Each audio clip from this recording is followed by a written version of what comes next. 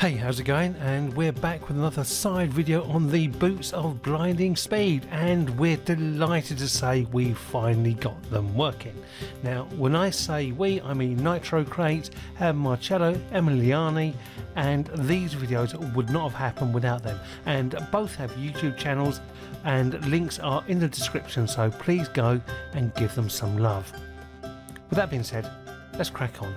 Okay, so last video we established that using the Lord Stone for magic resistance worked, Candlelight worked, Khajiit Night Eye works, as did the rare Curious Potion of Night Eye, and finally Vampire Sight works. But as you saw, it really wasn't giving us the results we wanted. So we discovered, well actually Nitro Crate actually discovered it, but as it's my video, I'm taking all the credit, damn it that something was missing, and he discovered that if we throw in Vision of the Tenth Eye, we finally get the results we're looking for. Now, I'm not playing as a Khajiit, but this method does work with a Potion of Night Eye, and I'm assuming it works with the uh, Night Eye power. Uh, but if anybody could test this and leave the results in the comments below, I'd be really grateful. Anyway, I was able to get myself infected with Sanguinaire Vampiris uh, to get Vampire Sight to test this out. And to get the spell Vision of the Tenth Eye, you must become a Master of Illusion at level 100, then go and see Drevis Neloren in the College of Winterhold and ask Drevis for additional training. He will give you the Illusion Ritual spell quest and automatically put Vision of the Tenth Eye in your inventory.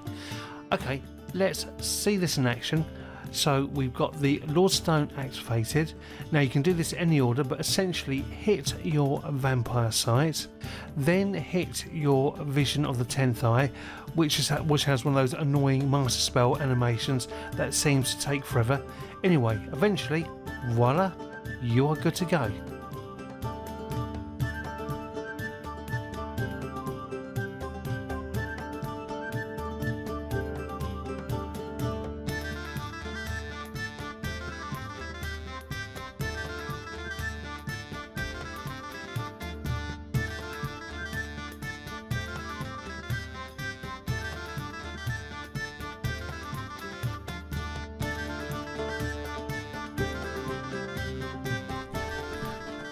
Now, this is Skyrim, so there has to be catch, and uh, in this case, there's two. Now, one already mentioned is that you have to become a Master of, of Illusion to get the Vision of the Tenth Eye spell.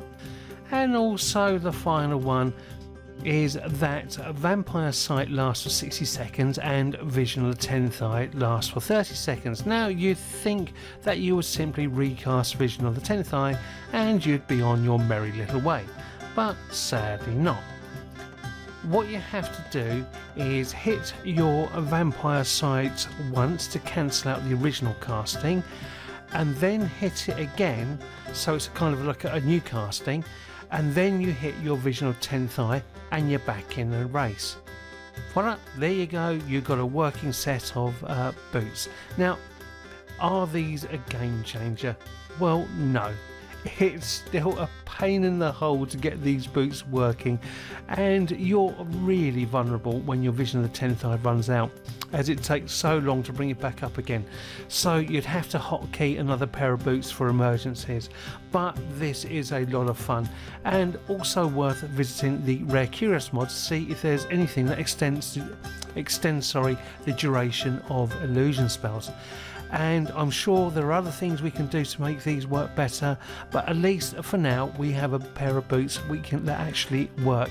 And thanks again to Nitro Crate and Marcello Emiliani in their help in putting this together. Couldn't have done it without them. Hope you enjoyed the video. See you later